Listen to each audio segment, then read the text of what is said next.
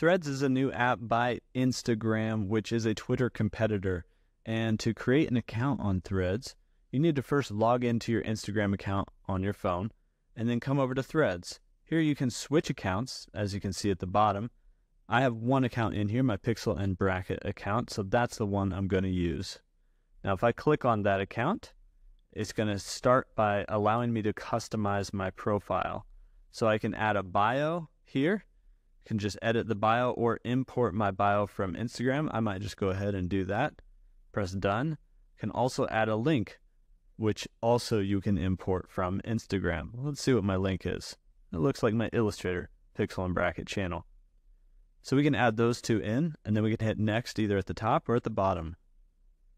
Then we can select the privacy setting. Now, if you're 16 or under, or in some countries 18 or under, this will default to private, but you can set it to a public profile. That's what I'm going to do here. But you have public or private.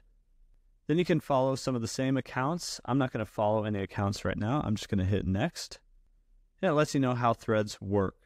So this is powered by Instagram, so it's part of the Instagram platform. You, of course, acknowledge all of the data sharing and privacy policy agreements. And then there's this Fediverse thing, which might be some sort of merger of social media networks in the future. Then you hit join threads at the bottom. You can allow it to send you notifications. I will in this case. And then here we are. We're inside of threads, a very Twitter like user interface. And that's how to sign up for threads.